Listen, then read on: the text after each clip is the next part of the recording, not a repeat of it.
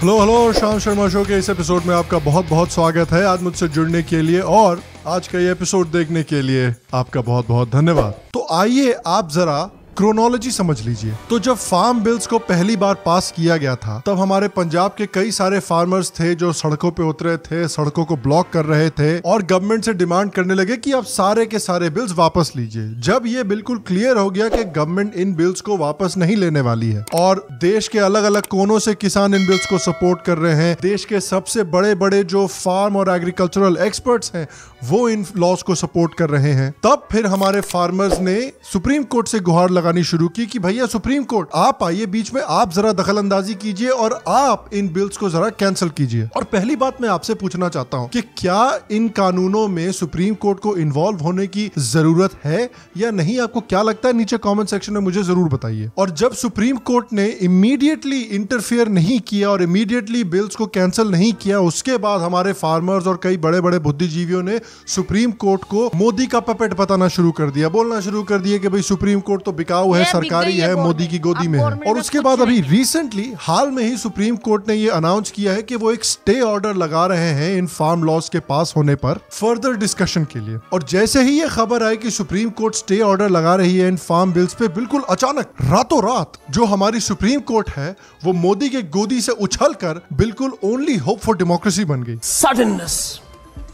The sheer suddenness of the move, the unexpected nature of the move, the unpredictability of the move. हमारे prominent cartoonist से लेके हमारे prominent cartoons तक Supreme Court की तारीफ़ करने लगे सुप्रीम कोर्ट की बड़ाई करने लगे। प्रोमिनेंट पॉलिटिशियंस भी आकर सुप्रीम कोर्ट की खूब तारीफ़ करने लगे कि वो इस हिंदुत्व सुप्रेमेसिस्ट गवर्नमेंट से लड़ रहे हैं। तो बिल्कुल अचानक से मामला चेंज हो गया। लेकिन अभी भी इस कहानी में कुछ ट्विस्ट्स एंड टर्न्स बचे हुए हैं। तो सुप्रीम कोर्ट ने अनाउंस किया कि सुप्रीम कोर्ट एक चार मेंबर की कमिटी क्रिएट करने वाली है जो कि मोदी गवर्नमेंट और फार्मर्स के बीच में निगोशिएशन करेगी। लेकिन इस कमिटी के चारों मेंबर्स जो हैं वो चारों इन बिल्स को हिस्टोरिकली सपोर्ट करते हुए आए हैं। फिर से बदल गया मामला। एकदम इन्होंने वक्त बदल दिया जज्बात बदल दिए ज़िंदगी बदल दी। ओ भाई मारो मुझे मारो मारो मुझे मारो मारो। फिर से सुप्रीम कोर्ट एक फैशिज्म से लड़ती हुई ऑर्गेनाइजेशन से चेंज होकर वापस मोदी की गोदी में चलेगी। बड़े बड़े हमारे बुद्धिजीवी वापस सुप्रीम कोर्ट को गालियाँ देने लगे। फार्मर्स यूनियन ने तो यहाँ तक अनाउंस किया कि वो कमिटी से बात तक करने नहीं जाएँगे। हमारे देश के सबसे बड़े इच्छाधारी प्रोटेस्टर योगेंद्र सिंह। योगेंद्र सिंह जो कि सुप्रीम कोर्ट की इतनी तारीफ़ कर रहे थे कुछ घंटे पहले,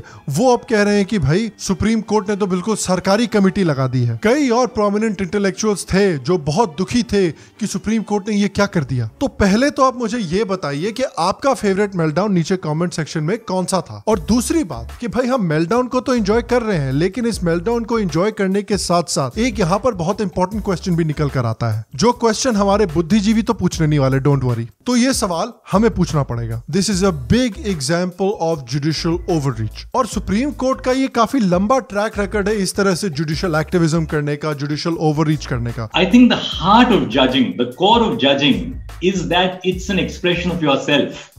I think if you really ask me what the the uh, what I've learned in the last 20 years is that it's a form of self-expression about what you consider to be a just society. भाई साहब ये किस line में आ गए आप? कि government हमें नहीं बताएगी लेकिन सुप्रीम कोर्ट हमें बताएगी कि हमें शादियों में खाना कितना खाना चाहिए कि भाई हमें पटाखे कितने समय से कितने समय तक फोड़ने चाहिए। तो सुप्रीम कोर्ट के जजेस को जज भी बनना है प्राइम मिनिस्टर भी बनना है और पुलिस भी बनना है कि भाई देश में जो भी होगा वो हमारी परमिशन से होगा बिना हमारी परमिशन के हम कुछ नहीं होने देंगे। नो नो नो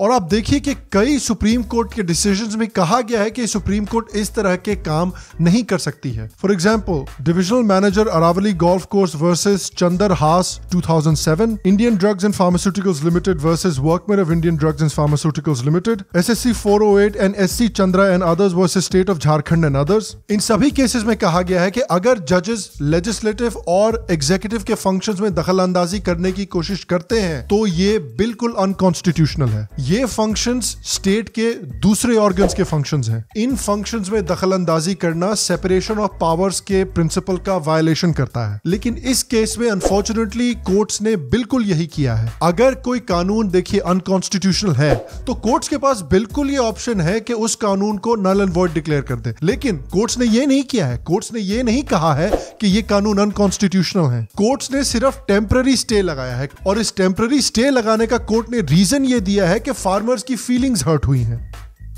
अबे, ये क्या लॉजिक है भाई? आपने इंडियन पीनल कोड के सेक्शन 377 को हटाया, आपने होमोसेक्सुअलिटी को डिक्रिमिनलाइज किया।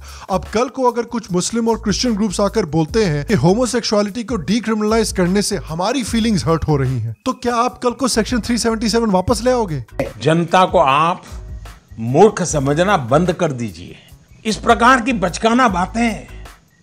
किसी के गले नहीं उतरती, लोग मज़ाक उड़ाते हैं। देखिए, इस गवर्नमेंट के पास जनता का जनादेश है और इस जनता का जनादेश को मद्देनजर रखते हुए गवर्नमेंट ने ये कानूनों को पास किया है। जब तक ये कानून एक्सप्लिसिटली अनकॉन्स्टिट्यूशनल नहीं है, तब तक कोर्ट्स का इन कानूनों में कोई रोल नहीं बनता है। और उसके ऊपर से यार कोर्ट्स गवर्नमेंट को अकाउंटेबल रखने की कोशिश कर रहे हैं, लेकिन कोर्ट्स की अकाउंटेबिलिटी का क्या? इंडियन जुडिशरी दुनिया की इकलौती जुडिशरी है, जिसमें हायर जजेस को जुडिशरी खुद अपॉइंट करती है। ये सिस्टम दुनिया में और कहीं भी नहीं है। तो जितने भी सीनियर जज हैं, उनको सीनियर जज खुद अपॉइंट करते हैं। और यहाँ तक कि जब पार्लियामेंट ने national judicial appointment commission act 2014 pass किया था, जिससे कि एक इंडिपेंडेंट कमीशन क्रिएट होता जो और ट्रांसपेरेंसी के साथ जजेस को अपॉइंट करता। उस एक्ट को हमारी प्यारी जुडिशरी ने स्ट्राइक डाउन कर दिया कि नहीं भैया, हमको अपॉइंटमेंट प्रोसेस में ट्रांसपेरेंसी नहीं चाहिए। गवर्नमेंट के काम में हमको अकाउंटेबिलिटी चाहिए, लेकिन हमारे काम में अकाउंटेबिलिटी की कोई ज़रूरत नहीं है। और देखिए फाइनली जो सुप्रीम कोर्ट ने अपनी दखल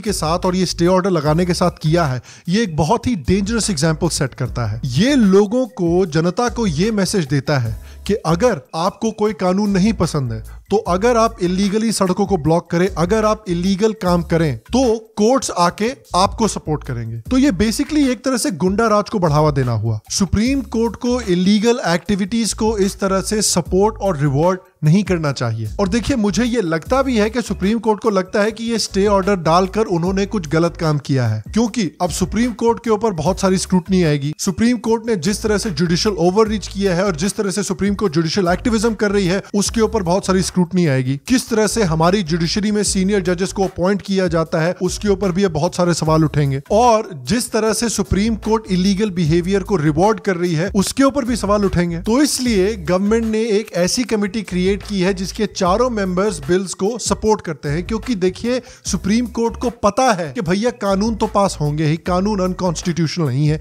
अगर अनकॉन्स्टिट्यूशनल होते तो सुप्रीम कोर्ट ने यह कह दिया होता। तो इसलिए उन्होंने ये कमेटी क्रिएट कर दी है कि भैया कानून तो पास हो जाएँगे, लेकिन जनता की गालियाँ कमिटी को पड़ेंगी और जनता हमको हीरो की तरह देखेगी क्योंकि भैया देखिए, हमने तो इन बिल्स को रोकने की कोशिश की, हमने तो कमिटी बनाई, लेकिन कमिटी ने बिल पास कर दिया तो हम क्या करें? देखिए this is a very bad example of judicial overreach और जनता के दिमाग में पब्लिक के दिमाग में ये डाउट्स क्रिएट करेगा on the nature of the separation of powers and the basic structure of the constitution तो आज के डे एंड एज में जुडिशरी की अकाउंटेबिलिटी बहुत बहुत बहुत ज़रूरी है। और मैं आपसे पूछना चाहता हूँ कि क्या आप अग्री करते हैं मुझसे कि जो सुप्रीम कोर्ट ने किया है ये स्टे ऑर्डर डाल के this is an example of judicial overreach आप अग्री करते हैं या डिसएग्री करते हैं, नीचे कमेंट सेक्शन में मुझे ज़रूर बताएँ। अगर आपको आज का एपिसोड पसंद आया हो तो प्लीज़ आज के एपिसोड को एक लाइक दें, एक थम्स अप दें, इससे मेरी बहुत मदद होती है, इससे शो की बहुत मदद होती है। अगर आपने अभी तक शाम शर्मा शो का मर्ज स्टोर चेकआउट नहीं किया है तो जाइए भाई चेकआउट कीजिए। और अगर आप शाम शर्मा शो के पेटर्न बनते हैं तो हर एक पेटर्न को मर्ज स्टोर पे हंड्रेड रुपीज़ ऑफ़ मिलेंगे। तो 2021 बहुत अच्छा साल है शाम शर्मा शो का पेटर्न बनने के लिए। और अगर आपको आज का एपिसोड पसंद आया हो, अगर आपको शाम शर्मा शो पसंद है, लेकिन आपने फिर भी अभी तक सब्सक्राइब नहीं किया है, अरे भैया तो क्या कर रहे हो? हैं? क्लिक करो, इतना प्यारा सा बटन है, सब्सक्राइब करो, बेल आइकॉन को दबाना बिल्कुल नहीं भूलना। और हाँ हमारे यहाँ और यहाँ और भी एपिसोड्स हैं, इनको भी जाकर देखिए, आपको ज़रूर पसंद आएँगे। मैं आपको अगले एपिसोड में मिलूँगा और तब तक स्वस्थ रहें, सुखी रहें, और फिर मिलेंगे।